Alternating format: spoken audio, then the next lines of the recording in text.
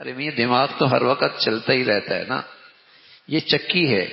चक्की के नीचे दाने डालोगे तो आटा निकलेगा।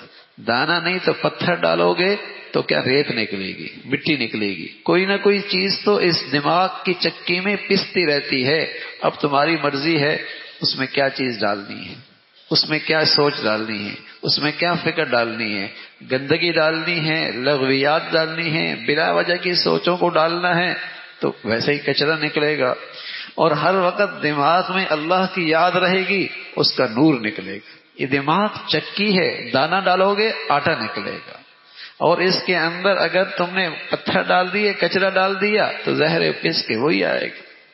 तो हर वक्त ये दिमाग तो चलता ही है, लेकिन अल्लाह की याद में हो, अल्लाह के ख्याल में हो, अल्लाह की, जिसे कहेंगे प्यारे प्यारे नामों से उसे पुकारने के साथ हो तो आदमी की सोच और फ़िक्र में बड़ी सलामती आ जाती है।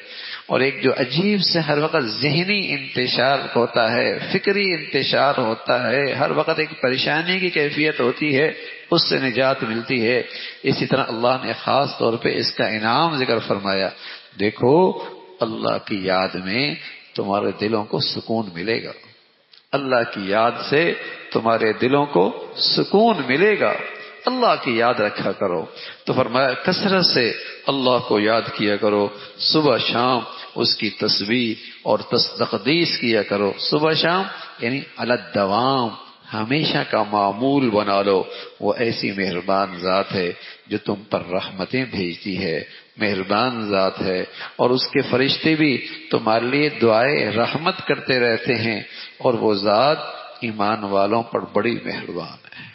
ईमान वालों पर बड़ी मेहरबान है तो उस मेहरबान जात की कदर की जाए और उसको अच्छे अच्छे नामों से याद करके उससे मोहब्बत और ताल्लुक में इजाफा किया जाए। अल्लाह रबुल इज़्ज़त हम सभी को इसकी तौफीक नसीब फरमा